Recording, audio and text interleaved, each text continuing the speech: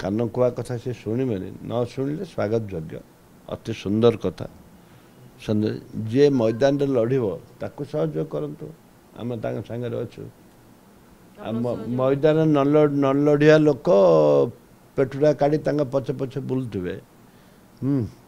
ଆଉ ସେଇଟା ସୁନ୍ଦର ନାହିଁ ତାଙ୍କ ଯେଉଁ କଥା କହିଛନ୍ତି ଶରଦା କହିଛନ୍ତି ମୁଁ ଖୁସି ଆନନ୍ଦିତ। ମନ ମୋର ତ ମନ ନାହିଁ ଉଣା କୁଆଡ଼େ ଆସିଲା?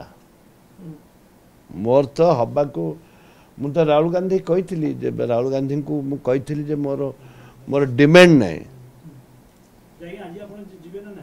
ମୋର ଡିମାଣ୍ଡ ନାହିଁ ମୁଁ ହେବା ପାଇଁ ଦେଲେ ଛାଡ଼ିବାର ନାହିଁ ନହେଲେ ମାଗିବାର ନାହିଁ।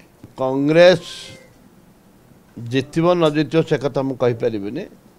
କିନ୍ତୁ ବହୁତ ଯେଉଁ ଗୋଟେ ମେସେଜ ଗଲା ଯେ କଂଗ୍ରେସର ସବୁ ନେତା ଏକତ୍ରିତ ହେଇକି ଲଢ଼ିଲୁ ଏଇଟା ହେଉଛି ଆମ ପାଇଁ ବଡ଼ ମେସେଜ ଆଗରୁ ଏମିତି ଏକାଠି ହେଇ ଲଢ଼ିବାର ମୁଁ କେବେ ଦେଖିନି। ଏଥର ଯେଉଁ ଏକାଠି ହେଇକି ଲଢ଼ିଲୁ ସମସ୍ତେ ମିଳିମିଶିକି ଲଢ଼ିଲୁ ଆଉ ସମସ୍ତେ ଯାଇକି ଦାୟିତ୍ୱର ସହ କାମ କରିଛନ୍ତି ଏଇଟା ଆମ ପାଇଁ ବଡ଼ ଶରଦ ପଟ୍ଟନାୟକ ହୁଅନ୍ତୁ ସଭାପତି କି ନିରଞ୍ଜନ ପଟ୍ଟନାୟକ କଣ୍ଟିନ୍ୟୁ କରୁଥିଲେ ଇଲେକ୍ସନ ସମୟରେ ଶରଦ ପଟ୍ଟନାୟକ ଆସିଲେ।